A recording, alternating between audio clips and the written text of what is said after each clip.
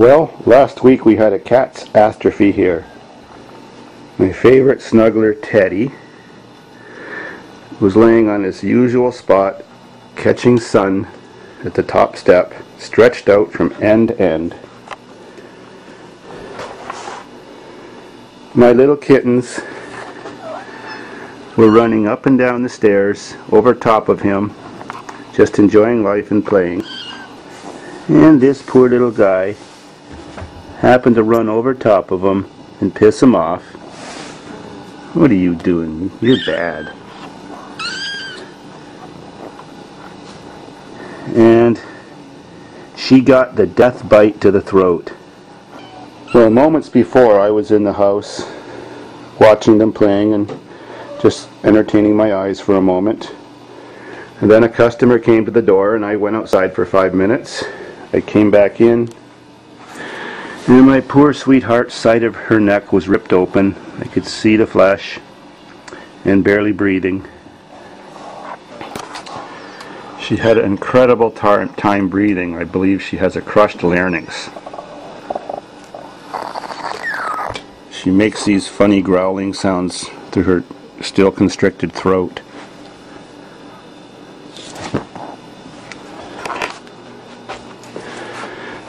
I monitored her a lot to make sure she could keep breathing.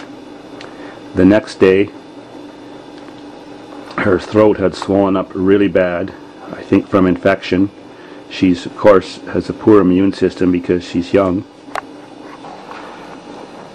I then uh, got some leftover eh, really powerful antibiotics that I had for myself a while back when I had an infection.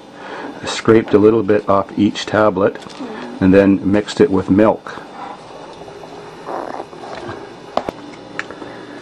I warmed up the milk, put it in this syringe, and started uh, feeding it to her to give her something to drink so she wouldn't dehydrate since she couldn't eat or drink by herself.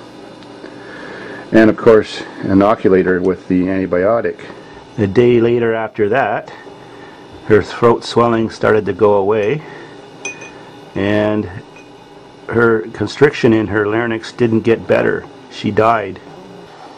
She, she lay on the ground, lifeless and limp, pee coming out of her rear end, and in death convulsions.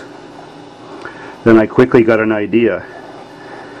I had just fixed the transmission on my Volkswagen powered minivan, and this is the clutch actuator rod. It's 8 millimeters diameter.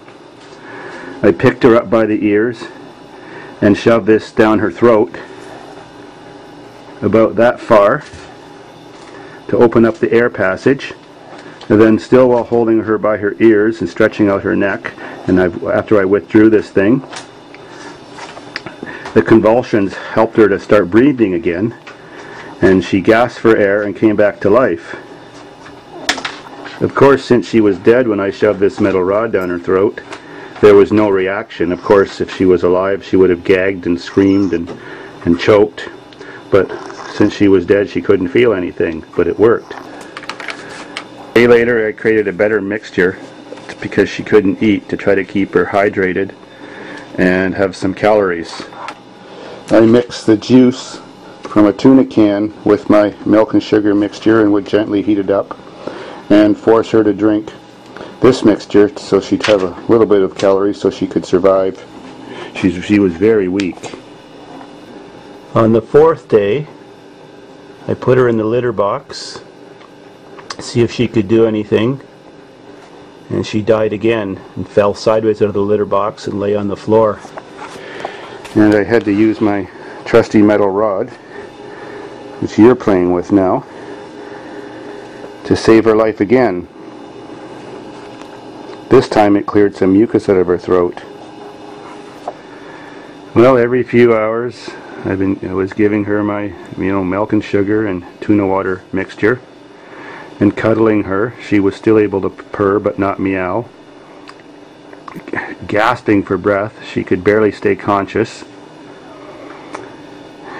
And keep, kept putting with her mother, and her mother would still look after her and tend to her, but she couldn't suck yet. Today being Thursday, six days later, She finally was able to eat a little bit of mushy cat food when I put it beside her. So that shows she's finally recuperating. Her little nose is cold and wet now.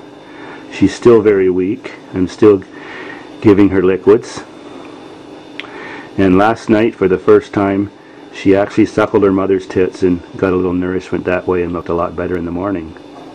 As you can, as you can see, her loving sisters are helping take care of her and treating her well. My kitties are eight weeks old now. I've given away the two males. So I have these three striped females left. They're excellent and playful. This poor little guy still is going to need some tender loving care. So if anybody wants a little kitten, come and get them. They're ready to go. I'm so afraid that Big Teddy is going to attack another kitty again, so I'd like to donate them to anybody before he does them all in.